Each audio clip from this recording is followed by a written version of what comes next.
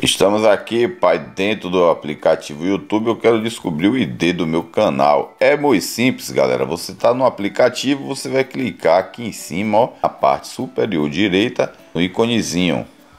Chegando aqui, você vai descer e vai procurar essa opção aqui, ó, configurações. Em configurações, você vai descer mais um pouquinho e vai clicar em sobre.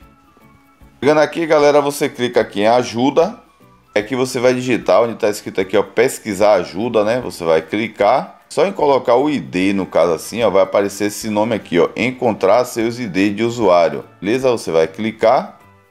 Pronto. E aqui o que é que você vai fazer? Você vai rolar e vai chegar nessa parte aqui, ó, encontrar seu ID de usuário e do canal. Pronto. E aí clica nesse linkzinho azul aqui que está escrito configurações avançadas da conta, ó.